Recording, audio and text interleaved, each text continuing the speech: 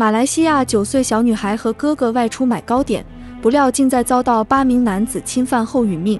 警方悬赏两万令吉捉拿凶手，却始终没有凶手的下落。最后，其父母甚至打算把女儿变成红衣厉鬼，让她自己回来找凶手复仇。因为巨额钱财的诱惑，有人跳出来承认自己是凶手后，却又再度否认。过了三十七年，这桩案件仍然石沉大海。这桩案件真的太让人难过。今天我们就来聊一聊曾轰动马来西亚的红美凤案。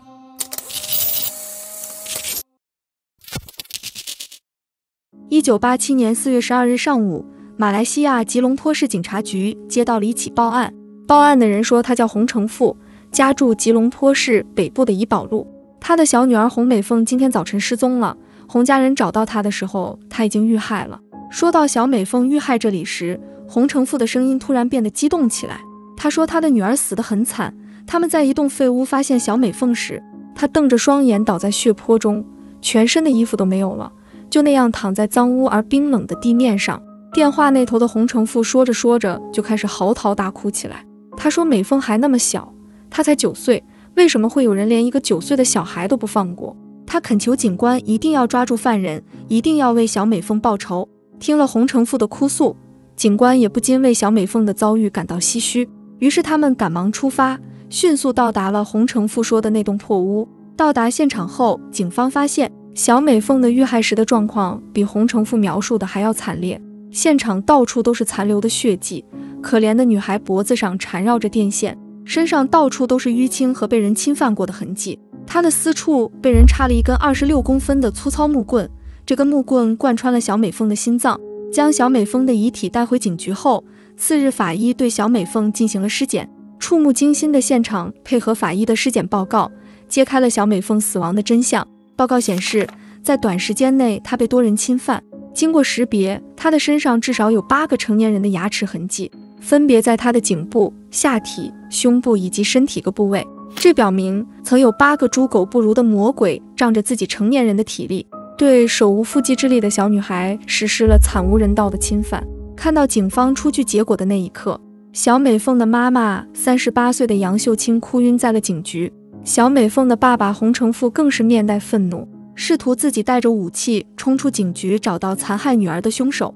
小美凤的哥哥洪耀天更是在一旁哭着说：“都怪他去上了厕所，要是他没有去上厕所，妹妹就不会死。”看到现场晕倒的母亲和激动的父亲，警方明白，在他们两人嘴里是问不出小美凤失踪前发生的事了。于是，他们将询问的对象转到了一旁哭泣的洪耀天。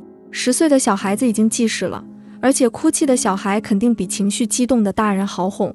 警方派出了一名长相和善的女警出面安慰。果然，不一会儿，女警就安慰好了哭泣的耀天。在女警问他妹妹失踪前，他们做了什么时，耀天回忆道：“今天早上八点，他和妹妹美凤早早就起了床，洗漱完之后就出门了，因为他们要一起去附近的档口买糕点。”由于周围都是熟人，附近也经常有小孩独自或者结伴游荡，这么多年也没出过什么事，所以洪父洪母倒也放心的让两兄妹出了门。兄妹俩到了卖糕点的地方之后，却发现档口没营业，于是两人就打算去附近的巴沙逛一逛。走了一会儿之后，哥哥洪耀天突然感到肚子痛，临走前，哥哥吩咐小美凤在原地等他，说自己十分钟之后就会回来。说完，着急的哥哥就赶忙跑回了家上厕所。十分钟后，洪耀天回到原地找妹妹，却发现妹妹已经不见了踪影。看到妹妹不见了，洪耀天连忙跑回家通知父母。从儿子洪耀天嘴里得知这个消息后，洪家父母几乎不敢相信。他们了解女儿，她一向乖巧听话，哥哥叫她站在原地等，她是绝对不会乱跑的。现在她不见了，肯定是出事了。于是洪家立马全家出动寻找小美凤。一些邻居听到动静后，也出来帮忙找人。大家满大街喊着美凤的名字，分头寻找她的踪迹。两个小时过去了，小美凤没有任何消息，所有人的心都凉了半截，都认为小美凤已经凶多吉少。洪家父母也知道找到女儿的可能性已经很小了，但是他们没有放弃，依旧在寻找女儿的下落。就在这时，小美凤失踪三个小时后，大家在附近一间废屋内找到了失踪的小美凤。推开废屋的大门后，眼前出现的小美凤被害的一幕让大家都震惊、心痛不已。听完洪耀天的讲述，警方开始怀疑会不会是熟人下的手，因为只有熟人才会在短短十分钟内就拐走小美凤。于是，警方开始排查周围的人，再根据调查及所搜获的证据，警方认为谋害小美凤的凶手中可能有讲泰米尔语的原住民。经过一番排查，最终警方艰难锁定了三名嫌疑人，这三人都是有犯罪记录的本地人，其中一个讲泰米尔语，另外两个都是洪家肉骨茶店的常客。为了确定这三人到底是不是凶手，警方请牙医根据小美凤身上的牙印制作了凶手的牙齿模具，与几名嫌疑人的牙齿形状做对比，却都并不符合。再加上当年没有 DNA 检测，所以警方只能将三人无罪释放。一九八七年的吉隆坡市监控还没有出现，这桩案子也没有目击证人，所以整整五个月，案件没有任何进展。警方为了能尽快将凶手绳之于法，曾经悬赏一万令吉的赏金给提供情报的民众。这桩案件轰动了整个马来西亚，许多民众可怜小美凤，他们在红美凤论坛发起了纠察行动，自发举办了许多义卖活动，筹募缉凶的悬赏金，让原本一万令吉的赏金被提高到了两万令吉。甚至还有一名老渔夫也愿意出高价聘请巫师为洪美凤寻找凶手。尽管许多人都在努力帮助吉隆坡警方寻找凶手，但案件始终没有取得突破性进展，见一直都抓不到凶手。绝望的洪家父母甚至想到了利用鬼神的力量帮女儿复仇。相传在马来西亚，如果死者生前是被人害死的，让死者穿上红衣下葬，就能加深死者的怨气，从而变成厉鬼，然后就可以找到谋害他的人进行报复。但最后，在大家的劝说下，洪家父母还是打消了这个念头。他们希望能早日抓到凶手，但他们更希望枉死的女儿可以早日安息。就在警方一直为寻找凶手发愁时，马来西亚当地某报馆却在连续一个月内收到了三封自称是谋害小美凤的凶手寄来的信。信件的字迹特意写得歪歪扭扭，明显是为了隐藏自己的真实身份。在前两封信件里，凶手表达了他的忏悔之意，说他跟朋友是因为服用了违禁品之后。在不知觉的情况下谋害了小美凤。除了小美凤之外，还有许多无辜的小孩也殒命在他们的授予之下。凶手还说，警方在案发现场调查时，他也在旁边观看。当时他想过自首，但想到家里的妻儿和年迈的父母，再加上害怕，他就没有自首。在最后一封信里，凶手声称，只要给他三十万安家费，让他用这笔钱安顿好了他的父母妻儿之后，他就会现身自首。要是不给他这三十万，他就会让此案永远成为悬案。除此之外，他还威胁警方，不给这笔钱，他就会故技重施，去侵害更多的人。但没过多久，警方内部还没商量好怎么处理这件事时，该名所谓的凶手却用英语发信给多家报馆，澄清之前发给某报馆的信函都是纯属虚构，动机就是因为不满当时某报馆三番五次的炒作洪美凤命案。在这之后，关于这桩命案就没有更多的线索出现了。经过小美凤这件事后，许多当地的家长都十分忧心自己儿女的安全，他们不让自己的儿女独自外出，不管再忙都尽可能亲自接送孩子上下课。久而久之，这桩案件就被搁置了起来。为了避免触景伤情，洪美凤的家人搬离了原先的地方，但他们并没有忘记小美凤。小美凤的父母日夜期盼警方可以破案，让爱女得以沉冤昭雪。哥哥洪耀天更是对当年的事耿耿于怀。此后几年，他一直把自己埋入自责的情绪中。在这种情绪的影响下，洪耀天二十二岁那年就因为肝病去世了。如今，距离小美凤遇害已经过去三十七年了。警方当年悬赏缉拿凶手的五万令吉赏金，至今无人领取。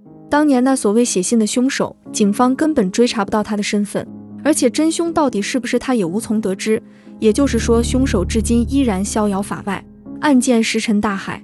这桩案件也成为了马来西亚的无头公案之一。在这起性质恶劣的案件背后，牵涉到了一个既重要又敏感的话题，那就是关于儿童的犯罪。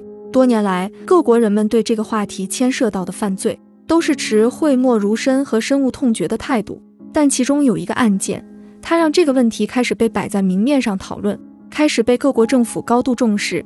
这起案件就是韩国电影《溯源》的原型——那英案。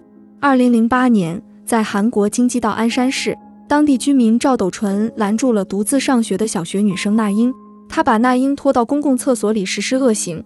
当人们找到小那英时，她已经饱受折磨，命悬一线。然而遭受这一切的时候，小那英才八岁。但这个犯下如此重罪、掀起韩国社会公愤的罪犯，却因为所谓酒后精神不稳的借口，只被判了十二年。服刑期间，赵斗淳的心理测试结果显示，出狱后再犯的可能性极高。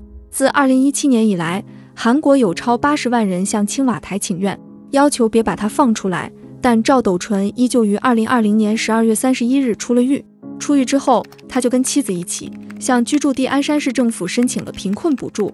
随着资格审查的通过，赵斗淳夫妇从二零二一年一月末开始，得到了三十万韩元的基础养老金、六十二万余韩元的两人标准生活补助，以及二十六万余韩元的居住津贴等，每月一百二十万韩元左右的福利津贴。而可怜的那英，现在的她才二十四岁，正是风华正茂的好年纪，却因为当年那场侵害，她和她的家人不得不几度搬家。但每一次搬家，赵斗淳的妻子都阴魂不散地跟着他们。他们每搬到一个地方，赵斗淳的妻子就会搬到离他们新家不足一公里的地方。当记者询问他为什么要这么做时，他冷漠地回答说：“不关记者的事，他根本就不关心那英一家。他甚至到现在仍然相信赵斗淳是无辜的，一切都是酒精惹的祸。”当年在韩国众多民众的游行抗议以及海内外舆论共同作用下，当时的总统李明博当众下跪道歉。在奈英案的推进下，韩国将儿童侵犯罪的最高刑期从十五年提高到三十年，最后到五十年。二零一二年，韩国国会通过性侵儿童惯犯化学阉割法案，成为亚洲首个实行化学阉割的国家。但因为法不溯及过往原则，已经判刑的赵斗淳，他的量刑已经无法更改。纵观全世界，儿童被侵犯是很多国家共同关注的问题，无论国界和年龄，那英案从未停止。像这样的问题一直存在。一个赵斗淳被关进了监狱，千千万万的后来者却毫无畏惧，以身试法。悲哀的是，或许对于家长来说，能做的就是不要让孩子单独外出，同时保护远离身边熟人的伤害。小编也希望各个国家能出台更加行之有效的保护措施和法律，让这些残害儿童的社会渣子受到应有的惩罚。如果喜欢咱们的内容，记得点赞、订阅频道哦。打开小铃铛，第一时间接收上新消息。感谢收看本期超级侦探，听离奇案件，品百味人生。我们下期再见。